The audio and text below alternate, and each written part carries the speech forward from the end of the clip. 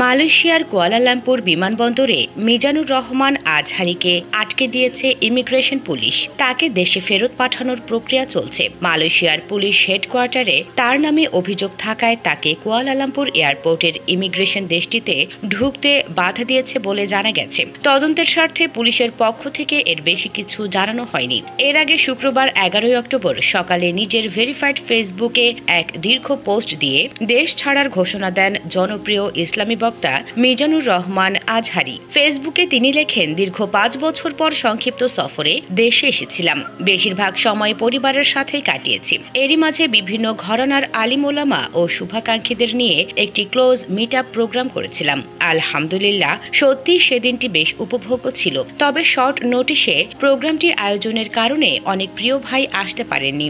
আবার কিছুটা তাড়াহুড়ো করে দাওয়াত দেওয়ার কারণে বেখেয়াল বশত অনেকে বাদ পড়েছেন। আশা করি ক্ষমা সুন্দর দৃষ্টিতে দেখবেন। পরবর্তীতে সবার সাথে সাক্ষাতের প্রত্যাশা রইল। আজহারি লেখেন, আজ মালয়েশিয়া চলে যাচ্ছি। মাসখানেক পর আবারও দেশে ফিরব ইনশাল্লাহ তখন আইন শৃঙ্খলা জননিরাপত্তা প্রোটোকল, লোকেশন সিলেকশন, শ্রোতা ধারণ ক্ষমতা, অর্গানাইজিং ক্যাপাসিটি সহ সবকিছু অনুকূল হলে দেশ জুড়ে বিভাগীয় পর্যায়ে হয়তো কয়েকটি প্রোগ্রামে অংশগ্রহণ করতে পারি। তবে সবকিছুই নির্ভর করবে উপযুক্ত পরিবেশ ও পরিস্থিতির ওপর। দীর্ঘ সাড়ে চার বছর পর সম্প্রতি মালয়েশিয়া থেকে দেশে ফেরেন জনপ্রিয় এই ইসলামী বক্তা। তবে কয়েকদিনের মাথায় শুক্রবার ফের দেশ ছেড়ে মালয়েশিয়া চলে যান তিনি।